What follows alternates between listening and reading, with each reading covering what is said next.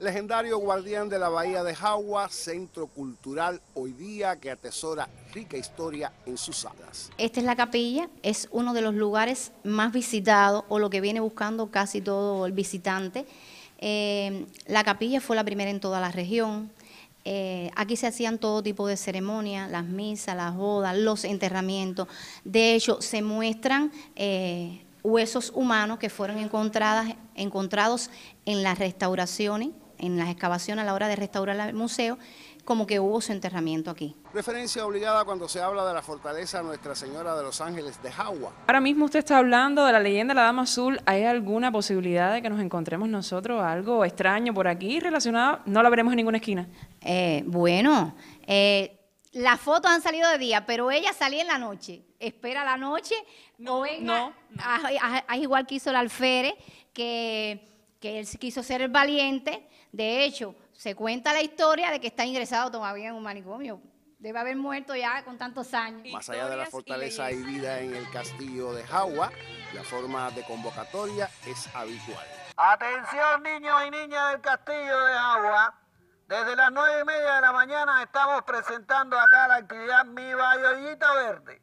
Esta mañana juegos, canciones, payasos, venta, promoción y venta de libros y juegos con el INDER, además de otras opciones que le estamos ofertando acá en el Parque del Castillo. Hoy nos está visitando además el programa TVR. Per la visión con nosotros hoy. La agrupación de teatro La Fortaleza tiene espacio permanente en la comunidad donde suelen ser los pequeños los mejores receptores del arte. Es muy importante la, presencia del INDER en la comunidad, simplemente por, por la salud, eh, los niños que están ociosos, que están en sus casas, que hay jóvenes que, no están trabajando, que no están estudiando y se incorporan con, los profesores en las actividades que hacemos, actividades deportivas, competencias, eventos, eventos que también los reportamos para el INDE Municipal de Sinfuego, en competencias de copa, de fútbol, de béisbol y siempre ha sido satisfactorio para ellos porque solamente lo que tienen aquí es la pesca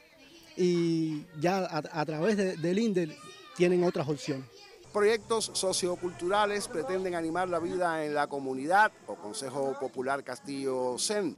Son tiempos complejos, pero la voluntad es mejorar la existencia. Tenemos un ranchón que también nos ha costado es tremenda lucha. Llevamos tres meses para echarle un piso de piedra, pero bueno, eh, queremos porque queremos esa área y recuperarla como un área de recreación marinera, porque es la cultura que realmente eh, tiene este pueblo. Y entonces esa área atrás que está en el Caletón, que tiene también los manglares, porque todo eso va conjuntamente con una educación ambiental comunitaria, porque nosotros estamos luchando por una sostenibilidad, pero sin educación no hay sostenibilidad, no hay futuro.